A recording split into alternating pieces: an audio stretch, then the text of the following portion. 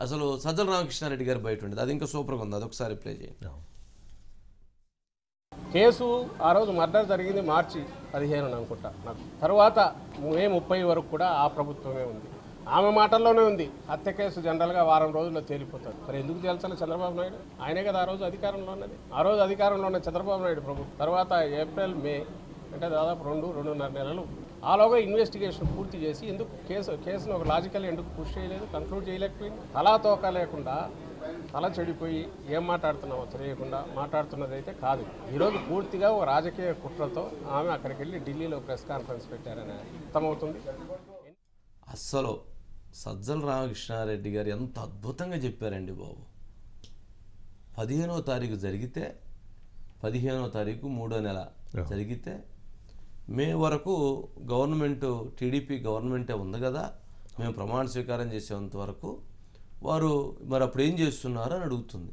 తలా తోక లేకుండా మాట్లాడుతుందంట పాపం వైఎస్ సునీత. మరి సజ్జల రామకృష్ణారెడ్డి గారు మాట్లాడేదాన్ని ఏమనాలో నాకైతే అర్థం కాలేదు. పది మూడున పదో తారీఖు పదో తారీఖు మూడో నెల నోటిఫికేషన్ వచ్చింది. నోటిఫికేషన్ వచ్చిన తర్వాత ప్రభుత్వము ఎటువంటి పరిస్థితిలో ఉంటుంది? అచేతన వ్యవస్థలో పనిచేస్తుంది. మరి పది మూడున నోటిఫికేషన్ వస్తే పదిహేను మూడు. మూడున మర్డర్ జరిగితే పద్దెనిమిది మూడున వైఎస్ అవినాష్ రెడ్డిని ఎంపీ అభ్యర్థిగా ప్రకటించారు. ముందెందుకు ప్రకటించలేదు? సాయిరెడ్డి విజయ్ ఎవరైతే వైఎస్ వివేకానంద రెడ్డి అబ్జెక్షన్ చేస్తున్నాడు కాబట్టి అందుకని ఆయన ప్రకటించడానికి కుదరలేదు. ఎప్పుడైతే చంపారో వ్యక్తి లేడు కాబట్టి పద్దెనిమిదో తారీఖున ఆయన అభ్యర్థిత్వాన్ని ప్రకటించారు ఎంపీ సురేష్ నందిగాం సురేష్ అప్పుడు కడప ఇన్ఛార్జి. మరి సరే పదిహేనో తారీఖున పదిహేను మూడున హత్య జరిగితే ఈ కేసు ఇన్వెస్టిగేషన్ మొదలుపెట్టినప్పుడు ఈ కేసును ఇన్వెస్టిగేషన్ని అప్పట్లో ఉన్నటువంటి డిఐ అడిషనల్ డిఐజీ సిఐడి అదనపు డీజీ అమిత్ గార్గ్ ఆయన నేతృత్వంలో మొదలైంది. సిట్ వేశారు సిట్ వేసారు సిట్ వేసి మొదలు పెడితే ఎప్పుడు ఆ రోజే పదిహేను మూడునే జరిగినటువంటి రోజే ఈయనకల్లా వేశారు. వేస్తే ఆ కేసు ఇన్వెస్టిగేషన్ చేసి ఇన్వెస్టిగేషన్ బయటకు తీసుకొచ్చేటువంటి టైంలో స్వయంగా జగన్మోహన్ రెడ్డి గారు ఆంధ్రప్రదేశ్ ఆనరబుల్ హైకోర్టును ఆశ్రయించి ఈ కేసు ఇన్వెస్టిగేషన్కి సంబంధించి ఎటువంటి ఇన్ఫర్మేషన్ని బయటికి ఇవ్వటానికి వీల్లేదు. ఈ కేసు ఇన్వెస్టిగేషన్ని ఎవరు కూడా ఎటువంటి పరిస్థితిలో బయటికి తేయటానికి వీల్లేదు. అని హైకోర్టులో పిటిషన్ వేసి గ్యాగ్ ఆర్డర్ తీసుకొచ్చారు. గ్యాగ్ ఆర్డర్ అంటే ఏంటి?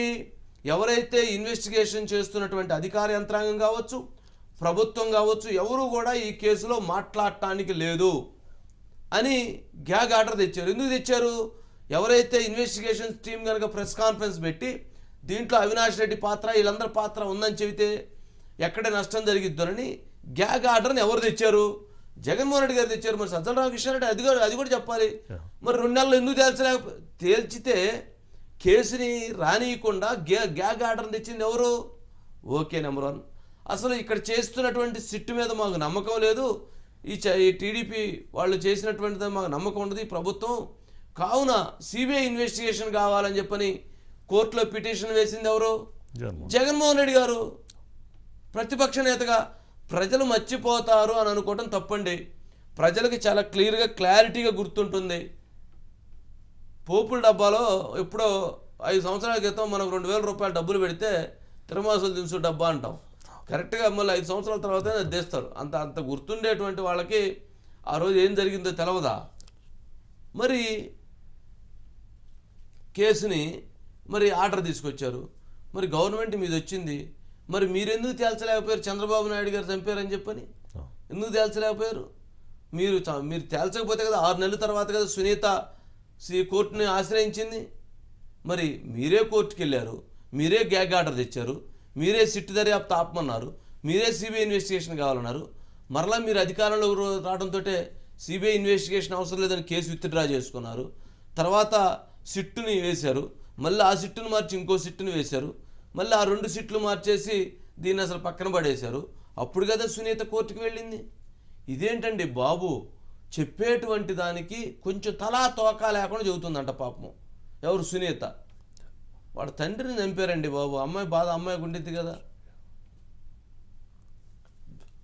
సరే ఇది ఇది ఒక అంశం. అంటే ఇది ఎంత ఆశ్చర్యకరమైనటువంటి అంశం అండి అబ్బో అబ్బో అబ్బో అబ్బో ఈ కేసులో ఇక నా మనం ఎంత చెప్పినా ఇక్కడ దాంట్లో చాలా ఉన్నాయి ఇక్కడ వాళ్ళు మాట్లాడి చెప్తామంటే దాంట్లో చాలా దెప్తిగా చెప్పొచ్చు. సరే నేను ప్రజల్లోకి వెళతా ఎలా వెళ్ళాలో అనేటువంటిది ఇంకా స్పష్టత లేదు. నేను ఎన్నికల్లో పోటీ చేసే విషయాన్ని ఆలోచిస్తూ ఉన్నాను. నేను పోటీ చేయాలా వద్దా అన్నటువంటి దానిపై ఇంకా నిర్ణయం తీసుకోలేదని